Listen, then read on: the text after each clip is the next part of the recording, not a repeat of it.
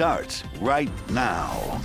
For the first time in our area, a case of COVID 19 turning deadly. City and county officials confirming today a woman in her 80s died yesterday. She was treated at Brooke Army Medical Center and had a history of underlying health issues. The death comes a little more than a week since the first case of COVID 19 was confirmed here in our area. Here are the latest numbers tonight. Metro Health confirming 45 positive cases of COVID 19. 26 are travel related, seven are close contacts of previously diagnosed people. 10 cases were part of a community spread, and two remain under investigation. As we reported, one of those 45 cases did result in death. Another focus is to maximize capacity for COVID 19 patients at hospitals. This includes bed capacity and staffing capacity. And so today I am issuing two executive orders to expand those capacities. Those executive orders announced this afternoon from the governor included a direction to healthcare professionals to postpone all elective surgeries not deemed medically necessary. That'll keep more beds available for people in need of urgent care. The second order frees up hospital capacity by allowing more than one patient in each room. This comes as the governor announced 334 confirmed cases in the state and six deaths. He added that another 200 more people have received presumptive positive results. There is much more to unpack from Abbott's announcement, and you can do so at ksat.com. We also learned today Senator Rand Paul has tested positive for coronavirus. A statement on Twitter today read, quote, he is feeling fine and is in quarantine. He is asymptomatic and was tested out of an abundance of caution due to his extensive travel and events. He was not aware of any direct contact with any infected person, end quote. The Kentucky Republican is the first U.S. senator and the third member of Congress now to test positive for the virus. According to Paul's deputy chief of staff, the senator expects to be back in the Senate after his quarantine period ends. We'll have much more on coronavirus coming up in just a bit. But first, an update to a story we've been following since yesterday afternoon. A man is still recovering in the hospital tonight after police say a driver shot him three times in Alamo Plaza. Yeah, that driver was arrested, and Bexar County officials have now identified him as 69 year old Oscar Gonzalez Perez. The night team's Japhanie Gray spoke to the victim's wife, who says she was standing with her husband when he was shot. We were turning, and the guy says, you. You too. It was an afternoon turned deadly for Crystal David and her husband, 32 year old Cipriano David. Crystal says the two were allegedly cut off by a driver as they were crossing a crosswalk in Alamo Plaza. San Antonio police have identified that driver is 69 year old Oscar Perez. Crystal says Perez drove off, but they ran into him again shortly afterwards. When we got to the bus stop, that's when my husband's like, Is that the car? Is that the car? I say, Yes, that's the car. And he went over there and kicked the car. Crystal says she and her husband have been homeless for two years. Her husband suffers from a bipolar disorder. She says she tried to calm him down, but it was too late. He was shot three times. When you're talking to about his wife or anything like that, that's when his temper is going to kick in. But other than that, he's pretty laid back. He's pretty quiet. Cipriano's younger sister, Jennifer David, said she had just talked to him. He was hungry, and I told him we'll just go to my house just to get some soups and stuff like that. The alleged shooter, Perez, told police that Cipriano was aggressively panhandling and that he shot him after Cipriano hit his window and began kicking his car. However, Crystal says they have never panhandled. He has a punctured lung. He has a shattered elbow. Jennifer says she hopes her brother learns to walk away from confrontations, and she wants this incident to serve as a lesson to others. a lot of people just want to fight violence, and it's not the answer to everything. Cipriano is in stable condition, and his family says he's expected to be released from the hospital in about a week. Again, Perez is being charged with aggravated assault with a deadly weapon. He has since bonded out of jail on a $40,000 bond. Japhanie Gray, KSAT 12 News. Bexar County budget employees tee off on one of the county's senior leaders, and it was all caught on tape. Tommy Calvert is the voice of reason. It is just more evidence of what Commissioner Calvert himself calls a budget department that's out of control. The night team's Dylan Collier has the audio in tonight's Defenders investigation. Discussion. Precinct 4 Commissioner Tommy Calvert is the first African American commissioner in Bexar County history. This is the National Bar Association. And, and his work in public service. Here in Sudan, one of the poorest countries in the world. Including extensive efforts to combat human trafficking in the Sudan, was well documented long before Calvert was elected, which makes the following conversation involving Bexar County budget employees even more bizarre. But no, that's exactly it. He hasn't been alive long enough to do half the he's going to do with that. But that's why I want to like keep a list and be like, if I get to like 20 items, I can be like, what? Did you have all these jobs for six whole months? yeah, because he's only like 30 something. Did you work for a temp agency? He doesn't have enough time. not enough years. The audio was captured on a cell phone by a budget employee in January as a group of co-workers gathered for a meeting on the ninth floor of the Paul Elizondo Tower. Multiple employees have identified the voices heard on the recordings as belonging to budget analyst Thomas De Caesar and senior budget analyst Paul Mady, heard here again tearing apart Calvert's work history. There's not enough time for him to have done any of these things to any amount of expertise, right? And his fallback when he doesn't have work experience is, well, well, it's in my, it's in my precinct. like that makes him a deity that knows everything about precinct four. Like, uh, yes, it's in my precinct clearly I'm the subject matter expert. How can county staff members talk about a commissioner this way? You know, there needs to be some cleaning of house. Um, this is not um, just about the commissioners and myself, uh, but this is about an attitude of public servants and respect for the voters who sent me to represent them. How many employees do you anticipate this particular contract would require? And there's more. While talking about Calvert's role in this December commissioner's discussion on the jail commissary contract, Mady hurled this insult. If Tommy Calvert is the voice of reason, when asked for a comment from budget leaders, county officials responded by asking us to hand over the raw audio files. We declined and instead caught up to DeCesar as he left the office for the weekend. Excuse me, Thomas. Hi. Dealing with KSAT 12. Yeah, hi. I'm Here. on the phone. Okay, we just will take 30 seconds. DeCesar uh, was yeah. kind enough to wait. speak with us for a few moments, and after at first denying taking part in the conversation, he offered a semi-apology to Commissioner Calvert. don't... Do you apologize for what you said about him? I mean, he's a county commissioner, and you and Paul basically took him to task. I mean, I don't recall saying anything like that. If I did, it wasn't my intention to cause any, you know, harm or anything like that. But for the defenders, Dylan Collier, KSAT 12 News. Good luck. Mady and Bexar County Budget Director Seth McCabe declined our interview request. County Manager David Smith told us simply, Thank you, Dylan, for bringing this to our attention. We will be looking into this matter. You can read or you can hear the entire recordings in their entirety right now at ksat.com. Accusations of price gouging have launched an investigation into a local grocery store on the city's south side. Photos online show a price increase in store items at Thrift Thrifty Mart. Those photos generating many questions and concerns online. The night team Stephen Cavazos spoke with the store owner today, who is addressing those claims against his business.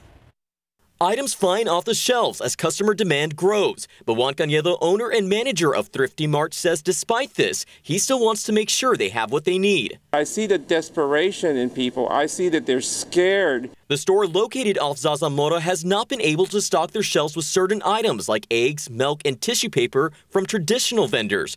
Canedo forced to find an alternative to keep business going. But in doing so, the store was accused of price gouging. That was very hurtful because uh, all we try to do is take care of our customers. Invoices show the store purchased inventory from non traditional vendors who don't normally provide items sold at the store, which is why the price was higher. Toilet paper rolls this size are what's typically sold here at Thrifty Mart, but because of recent demands, this is what they've had to sell to customers, which is why the price has changed. The store marked up price to continue profiting, but according to the store's attorney, their retail margins have stayed the same. Canedo says the store, which has been open more than 50 years, has never been faced with something like this. Today, I couldn't take care of my customers. I had to address these allegations. But he says for now, the store will stay open, and in a time of uncertainty, they'll continue to serve the community. We wanted to take care of our customers. No, we wanted to take care of our neighbors. Now, an attorney with Thrifty Mart says that an investigator with the Southwest Texas Infusion Center assured Canedo that his paperwork disputes any claims of price gouging. However, that investigation is still ongoing. We'll be sure to bring you the results of the investigation once it's completed. However, the Better Business Bureau notes that if anyone suspects price gouging, to report it properly. They can do so by reaching out to the Texas Attorney General's office, BCSO, or even filing a complaint against that business with the Better Business Bureau. For now, reporting live, Stephen Cavazos, KSAT 12 News. Tim, Courtney. Thank you, Stephen. In Dallas County tonight, a big shape up, shake up to everyday life coming in the form of a countywide shelter in place order. Dallas County Judge Clay Jenkins issued the order today following the deaths of two more people. It goes into effect tonight at 11:59 p.m. and lasts through April 3rd with the likelihood of it being extended. It allows for people to still leave their homes for activities deemed essential. Those include getting supplies for themselves, their families, or to perform tasks deemed necessary to their health and safety. Only essential businesses like healthcare, critical infrastructure, and retail, including grocery stores, are allowed to operate. Tonight, the city of New Braunfels is adding to the list of closures. At first, Bars, restaurant dining rooms, gyms, movie theaters, bowling alleys, and indoor amusement facilities were ordered to close. Now, the city of New Braunfels is ordering the shutdown of all non-medical or personal services that cannot be provided while maintaining a six feet distance. That includes nail and hair salons, barber shops, beauty salons, spas, massage parlors, tattoo and piercing parlors, and private clubs. The establishments that are still allowed to stay open, like grocery stores and pharmacies, must require customers to stand six feet apart, both inside and outside of the establishment. The order is set to go into effect at 11:59 tonight. The New Braunfels mayor, Barron Casteel, called it a wise step in the protection of the community. Joint Base San Antonio Lackland continues to ramp up safety precautions amid more positive COVID 19 cases there. The base now limiting gate access and is asking drivers to approach all gates with windows closed. IDs will be scanned through the window before entry. Some delays are expected as a result of the change. This as two additional people at JBSA have been infected by the coronavirus, bringing the total now at the base to 13. Officials with JBSA say a contact tracing investigation is now underway. Some of San Antonio's local nonprofits have teamed up against coronavirus. The San Antonio Area Foundation, along with the United Way of San Antonio, the city and Bexar County will use their new COVID 19 response fund to help support local nonprofits that are being hit hardest by this pandemic. The fund is valued at more than $2.7 million. The Area Foundation is hosting the fund, waiving administrative fees, and encouraging businesses and philanthropic partners to join in helping these nonprofits recover. Can find more information about this initiative right now at ksat.com. Here's a story of community creativity. Gateway Fellowship Church has figured out a way to have Sunday service while protecting its congregation from COVID 19. With the help of three cameras, dozens of cables, and a radio dial, the church created its first drive in church service. Just like a drive in movie, cars are ushered into a spot in the parking lot and told to tune in. Those in attendance say they're glad the church was able to make, make these accommodations.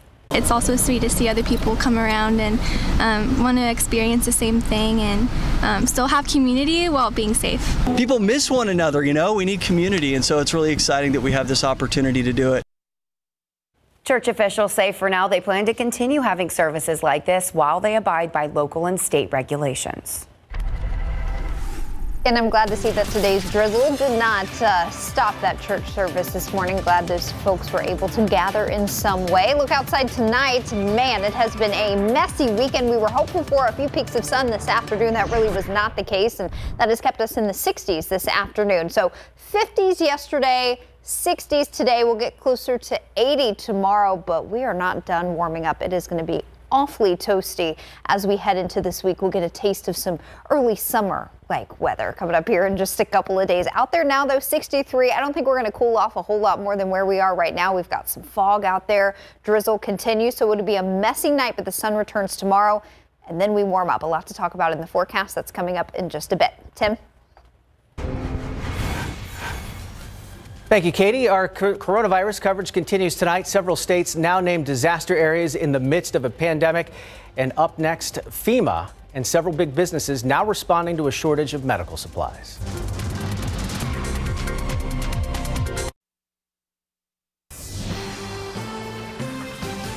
FEMA reporting masks discussed at a briefing yesterday are already being distributed and supplies are being shipped from the national stockpile. This as hospitals around the country express concerns about having beds and supplies. ABC's Marcy Gonzalez with the story. As the number of confirmed novel coronavirus cases increases, so too does concern about a shortage of supplies in hospitals across the country. We can't do some of the kind of more common life saving things we normally do in the emergency department like intubation, um, CPR, other things without a significant risk to us healthcare workers. An internal memo from a doctor at New York Presbyterian Hospital saying they're now going through 40,095 masks a day. That's 10 times more than usual, and expecting that number to go up significantly in the next few weeks. Officials in that hard hit state purchasing more than 2 million new masks and 6,000 ventilators, but more are urgently needed there and nationwide. If we don't get the equipment, uh, we can lose lives that we could have otherwise saved if we had the right equipment. On ABC's This Week, FEMA Administrator Peter Gaynor saying masks are being sent where they're needed. They're shipping today, they've shipped yesterday, they're shipped tomorrow. And I think one, one of the things. When you say uh, they, we, we what do you mean? How many? Which masks? The new masks? Well, I mean, I, I, can't give you the details about what every single state or what every single city's doing, but, but I'm telling you that we are shipping from our national stockpile, we're shipping from vendors, uh, we're shipping from donations. Businesses now stepping up to help meet the demand. Apple sending millions of N95s to hospitals. Hanes now making masks as well. And President Trump tweeting today Ford, General Motors, and Tesla are being given the go ahead to make ventilators and other metal products fast. Marcy Gonzalez, ABC News, Los Angeles. And as the U.S. struggles to deal with a supply shortage, a warning from overseas, a dozen physicians at the epicenter of Italy's COVID 19 outbreak making a dramatic plea to the rest of the world, warning that medical practices during a pandemic may need to be changed with care delivered to many patients at home. We were hoping to see a little bit of the sunshine today. Unfortunately, that do you hear that music, wow. or is that just in my head? No, it's not in okay. your head. All right, you never know. It's changing to like a happy tone. Uh, yeah, we're transitioning to the weather. yeah, Katie makes us happy. Smooth transition. Uh, I probably would have made some folks a little happier today if we could have gotten some sunshine going. I was hopeful we'd see some peaks of sun this afternoon. That wasn't to be, but tomorrow we should see some clearing faster, and that'll help to warm us up. And I want to give you a look at the week ahead in kind of a unique perspective. So Justin Horn put this graphic together last week. The social distancing lawn mowing forecast, which I love. And it doesn't just have to be lawn mowing, it can be anything your yard needs, working with your garden, getting getting the kids outside for a little bit. But uh, it's going to be good weather all week long to uh, get out and take care of the yard. We don't have any chances of rain in the forecast. I think the only thing that may bother you is that it's going to get pretty toasty here over the next couple of days. Temperatures today generally limited to the 60s. That's where most of us were stuck today under that deck of clouds. High temperature in San Antonio 64. Got up to 73 in Del Rio and we had some folks in the 70s, even low 80s down closer to the coast as clouds cleared out off to the west and to the southeast, but most of us stuck under gray skies and drizzle today. So our high temperature was 64. We've only fallen down to 63. That's what those low clouds, higher humidity will do for you. There's just not a lot of room for temperatures to budge. Low to mid 70s down closer to the coast, and it's in the low 60s up in the hill country right now. Winds are calm for most of us. That's what that CM means. So calm all along the I-35 corridor. But if you look down closer to the coast, winds are starting to become a bit more southerly. There's also a good little breeze there down near Victoria, and everyone will see a south wind settle in over overnight tonight through early tomorrow morning. That's where the higher dew point numbers are as well, where we've got that steady south wind. Dew points are in the low 70s, so into the oppressive range there as far as humidity is concerned. But really, all of us have dew points in the 60s, a few upper 50s off to the northwest. So it's feeling uh, very muggy out there, and we've got the drizzle. Just not a pleasant day, that's for sure. Uh, fog hasn't been a huge issue today. We haven't totally cleared up the fog that developed late last night and was around through this morning. Three mile visibility here in San Antonio. Antonio, two and a half miles from Kerrville to New Braunfels. I do anticipate fog becoming a bit more widespread and even a little dense through the start of the day tomorrow. So fog and drizzle in the forecast overnight low temperature of 63, so I don't see us cooling down from where we are right now, with a 20% chance of a spotty little shower, especially through dawn tomorrow morning. More clearing is expected and faster tomorrow afternoon. That will uh, give way to way more sunshine and high temperatures in the upper 70s and low 80s for your Monday afternoon. There are your southerly winds really settling back in tomorrow at about 5 to 15 miles per hour. So we will have a little breeze here or there. There's plenty of cloud cover all across South Texas, but any rain that's heavy enough to be picked up on radar, that's generally east of the I-35 corridor. We do have some very, very light showers from Wilson County through Nixon up to Gonzales and approaching the Highway 90 and I-10 corridors now as well. Not picking up on any of that shower activity in and around San Antonio, but certainly a few heavier showers.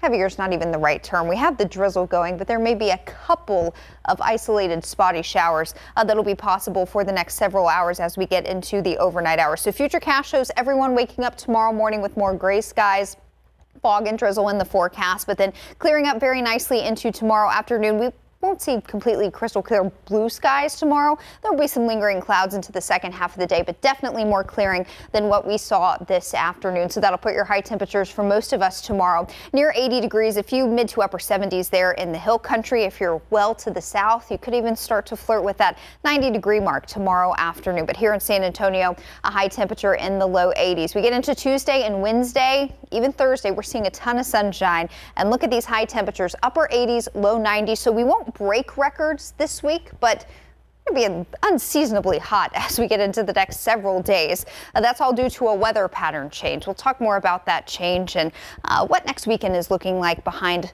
a weak cool front coming up next half hour. Guys?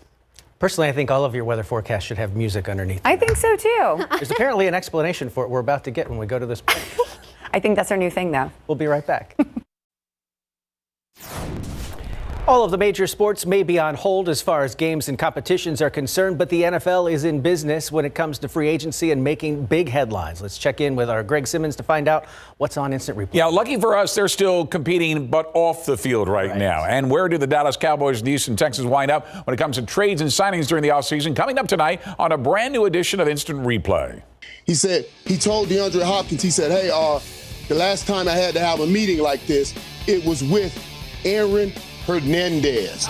Michael Irvin fanning the flames of the most controversial trade in the history of the Houston Texans as head coach and now general manager Bill O'Brien sends their star wide receiver DeAndre Hopkins to the Arizona Cardinals in exchange for running back David Johnson and a few picks. And it's not going over well with Texan fans. The Cowboys may have been able to keep Dak Prescott and Amari Cooper, but they've lost a ton of defensive stars to free agency from cornerback Byron Jones to pass rusher Robert Quinn. Who did they sign in return?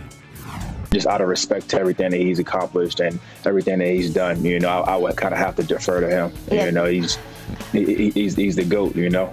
All right, giving up your number 12 for your new quarterback is always a good move. Tom Brady is another shocker in the NFL offseason as he leaves New England Patriots, where he led the Pats to six Super Bowl titles in 20 years, is now a Tampa Bay Buccaneer. We'll have the latest on that, plus the future Canelo Alvarez in the ring, as all the major sports are on hold right now.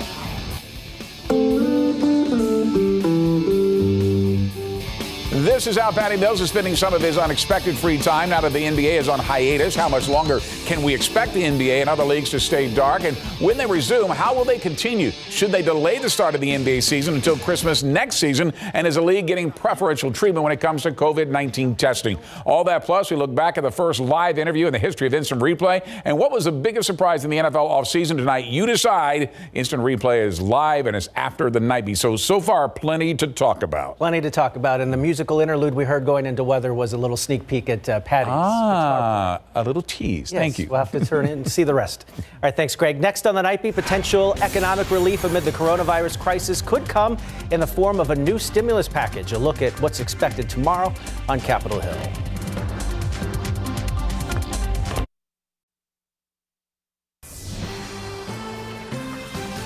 The White House making assurances help is on the way as the country deals with the coronavirus pandemic. Yeah, two states hit hard by the virus already declared disaster areas, and California may be next. Here's ABC's Mona Kosar Abdi with the details. President Trump and his White House coronavirus task force assuring Americans help is on the way to states and communities in desperate need of money and supplies. The federal government has deployed hundreds of tons of supplies from our national stockpile to locations with the greatest need in order to assist in those areas. The president reminding Americans they can help stop the spread of the virus. It is absolutely critical that Americans continue to follow the federal government's guidelines, so important about social distancing, non essential travel, and hand washing. But there continues to be examples of Americans ignoring that advice. Crowded beaches in California, boat parties in Florida, and this video taken yesterday showing a crowded New York City park. I don't know what I'm saying that people don't get. I don't know what they're not understanding. This is not life as usual. The president declaring the states where the outbreak is most severe here in the U.S. Disaster areas, New York, Sunday adding Washington and California. We have medical supplies en route to these states, including respirators, surgical masks, gowns, face shield, coveralls, gloves. With personal protective equipment desperately needed in healthcare facilities across the country, 3M says it has doubled production and will be sending half a million N95 respirators to hospitals in New York City and Seattle. And as medical centers continue to struggle, so are American workers, with millions of people now ordered to stay at home. Many businesses are shuttered, lawmakers in Washington working out a massive stimulus package. The price tag on that bill could be at least $2 trillion. If or when the Senate will vote on that bill is still unclear. Mona Kosar Abdi, ABC News, New York.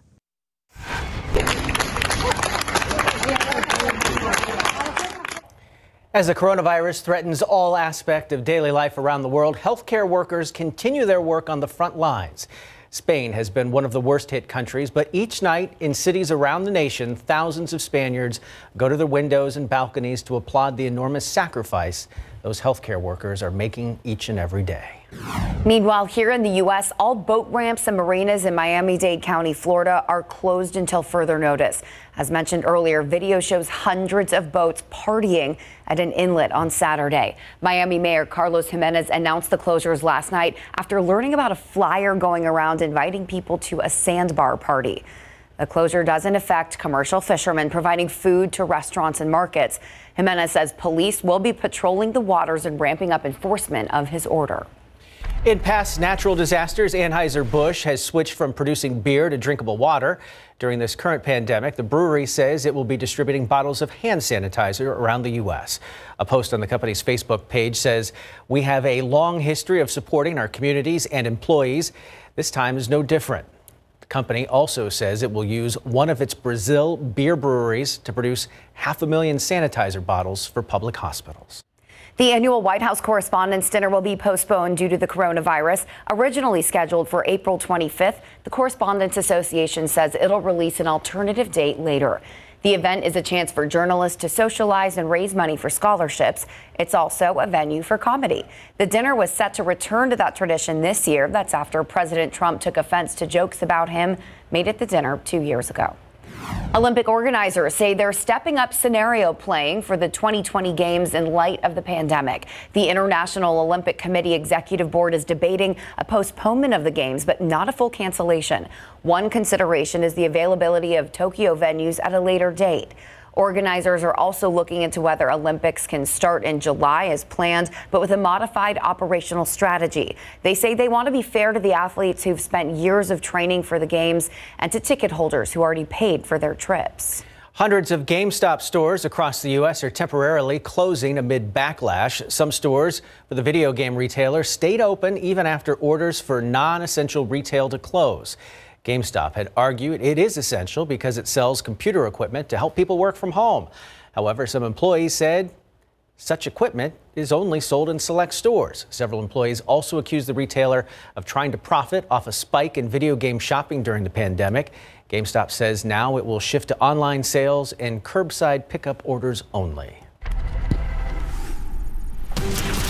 Look outside with live cam after what has been a cloudy, drizzly, damp, and very cool weekend. We've got some big changes on the way soon, as is usually the case here in South Texas, right? We turn things around on you pretty quickly. It is very humid out there right now. Humidity is at 97%. We've got calm winds. That is a perfect recipe for some fog to develop. It's fairly patchy at the moment, but I am thinking we could have some widespread fog and dense in spots develop through early tomorrow morning. Right now, dense fog advisories are only out for northeast Texas, part of central Texas as well. A little closer to Austin. So no dense fog advisories for our area as of now, but that could certainly change through early tomorrow morning. So uh, if you will be up early in the morning, have to get out, run a few errands or something like that, uh, head to uh, head to the store. Just make sure you check in with Justin Horn. He'll be on GMSA in the morning because we certainly uh, could have another messy start to the day tomorrow. We'll talk more about a big warm up heading our way coming up. Tim.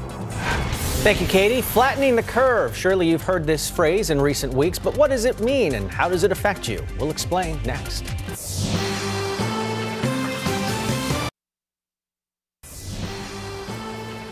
By now, you have probably heard the term flattening the curve when it comes to fighting the coronavirus. RJ Marquez explains what exactly that means and why it's so critical to our healthcare system. It's part of a series called Understand, which airs on the news at 9.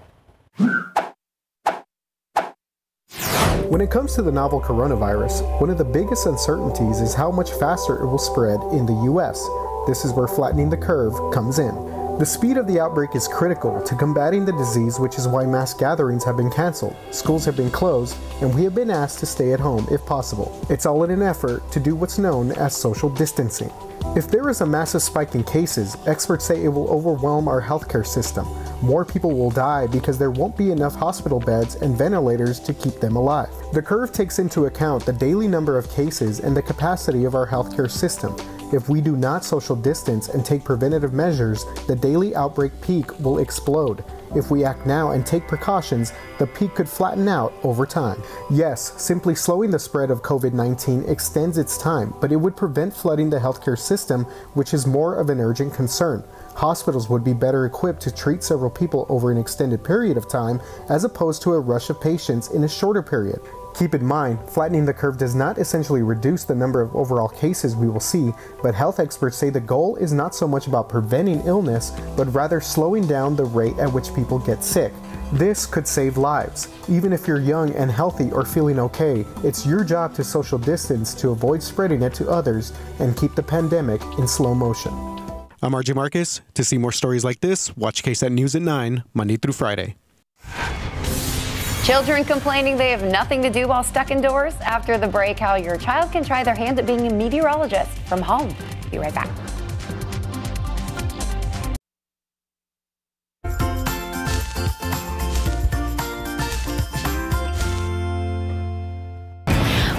Parents and kids, I know school is canceled and you may be stuck in a bit of a learning rut. We came up with a way for you to be a meteorologist in your own backyard. Let's start by learning to identify the different types of clouds. Here at KSAT, we created a KSAT 12 Cloud Handbook. All you have to do is follow the flow chart and you'll find out what the cloud is in the air. So let's follow this cl- the flow chart. Clouds, they're pretty low and they're pretty long and smooth. So guess what? It's stratus clouds. Boop, boop, boop. Hey, you can download this and uh, try your hand at it too. For more activities and other lessons you can do at home, check out the KSAT Kids page on ksat.com. Keeping those kids busy and now a full time job. Fortunately, a lot of those kids are going to start getting their schoolwork sent home. Yeah, I know. You won't be complaining you're bored anymore, right? At home once you have to start the, school. The full on teaching now. there you go. There you go. Yeah, we uh, we've been working to get some more content on that KSAT Kids page. I recorded a new be a meteorologist at home video tonight. Justin Horne did one a couple days ago. We've got Adam Caskey's how to build a homemade thermometer on there as well. So go and check it out. You saw the pollen count earlier in the show, but I wanted to touch on something. So oak is still high today. Uh, and we know why mold is high, right? Because it's been so damp and humidity's been high, and that typically keeps the mold count high. That's no surprise. Oak's still high though, uh, but you got to remember, think back to two days ago on Friday, the oak count was over 2,000. So in comparison, 730, not so bad. So the rain that's moved through, well, it has increased the mold count. It has helped to wash out some of the oak, and hopefully that number will fall even more tomorrow, and we'll catch a little bit of a break over the next few days. Uh, here's the drought monitor. This came out last Thursday. We'll get an updated version this Thursday, and hopefully it'll look pretty good because we've got a big swath of red here, generally south of Highway 90, but from Gonzales there uh, down to the south and over to Maverick County where there is extreme drought across South Texas. And I'm going to overlay uh, estimated rainfall over the past three days, 72 hours. And a nice swath here did hit some of that extreme uh, drought area there to the southeast of San Antonio. We even had a nice little swath of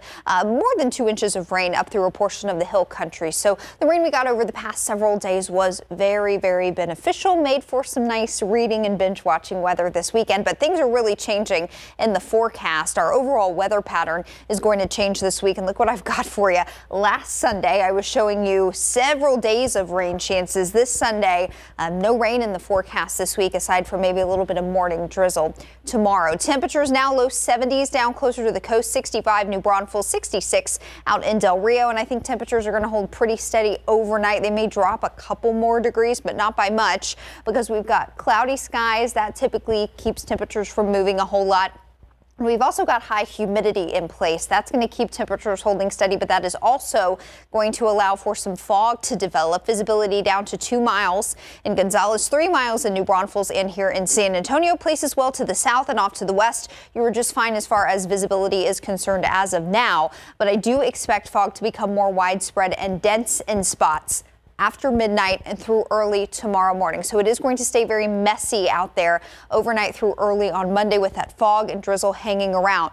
Through midday tomorrow, we'll start to see that fog go away. The drizzle let up as well. Still mostly cloudy by lunchtime, but then more clearing tomorrow afternoon. We'll see those clouds uh, clear out faster than they did today. That'll put our afternoon high temperature near 80 degrees. Southerly wind settling in tomorrow. A little breezy at times, 5 to 15 miles per hour. And here comes that big weather pattern change. Our overall weather pattern is really going to shift. So last week we had several upper level lows moving in from the west that kept rain chances in the forecast. Uh, as we get into this week, though, upper level high pressure moving in from the south. This typically keeps us fairly sunny, rain free, and also much warmer. So those upper level lows that bring us chances of rain not going to be able to impact our our forecast here in South Texas. It won't be until the start of next weekend that that will start to weaken and move away. Another low pressure system moving in from the west will actually Looks like it will bring in a cool front for us for next weekend to bring our temperatures back down closer to where they should be this time of year. In the meantime, get ready for some sunny days and some very warm afternoons this week, guys.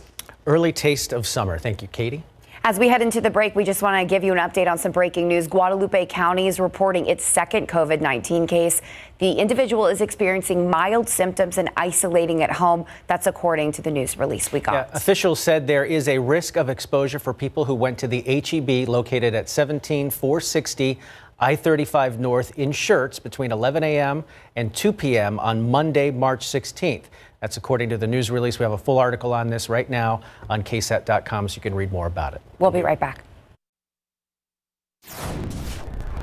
Unable to defend their national title due to the cancellation of sports by spring sports by the NCAA, how did the Texas Lutheran University Bulldogs send off their women's softball team? Basically all sports. And he was our first interview on Instant Replay in 1993. And tonight we bring back the Admiral David Robinson for an encore performance 27 years later. Let's find out what else is on Instant Replay with Greg Simmons. Back in the day, a lot more hair, a little darker. we'll see how that goes for us. And over the years, what has March brought us that we can celebrate in sports? Tonight, a look at those milestones milestones coming up tonight on a brand new edition of Instant Replay. What has John Lucas meant to this team? I, and I don't mean for you to have to compare him against Jerry Tarkanian because they're just two different types of coaching styles. What has he personally meant to this team? Yeah, they're really very different. Um, John the Admiral David Robinson was our first guest on our debut of Instant Replay on March 14, 1993. Now, 27 years later, we relive the big moment in local sports broadcasting with an encore performance. And that's not the only March anniversary we revisit tonight, including the retirement ceremonies for the Memorial Day Miracle Maker Sean Elliott, three-time NBA champion Bruce Bowen, and Junior himself, Moore, who had his NBA career cut short due to desert fever. And who can forget Shaquille O'Neal leading the Cole Cougars to an undefeated season and the state championship title 31 years ago? Um, it didn't seem like we were going to be done completely, um, and it seemed like we were still going to have some time with each other left. And um, it ended up being, you know, that weekend we played was our last weekend. The Texas Lutheran Bulldogs won't have a chance to defend their national championship in college softball this year, but the university figured out a way to give the seniors a big send off just before the suspension of all spring sports went into effect. Our Andrew Seeley traveled to Seguin for that story. And while Major League and Minor League Baseball is on hold, the show must go on when it comes to maintaining the condition of the field. Our Andrew Seeley also checks in on the mission's groundskeepers who are keeping the field ready for opening day, whenever that may be. And one of the sports that has been allowed to continue is golf. Our Jessica Hunt will take you to the links to find out who's giving it a swing. All that plus the biggest surprise in the NFL offseason and who was the starting quarterback for the then San Antonio Riders 29 years ago this March. We'll show you. Instant replay is live, and it's next. A little trip down memory lane tonight. You and David have aged very well. Oh, that's nice of you to say. Thanks, Greg. We'll be right back.